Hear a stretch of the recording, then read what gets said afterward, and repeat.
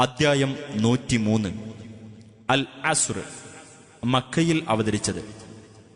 കാലത്തിന്റെ പേരിൽ സത്യം ചെയ്തുകൊണ്ട് ആരംഭിക്കുന്നത് ഈ അദ്ധ്യായത്തിന് ഇപ്രകാരം പേരു നൽകപ്പെട്ടത്.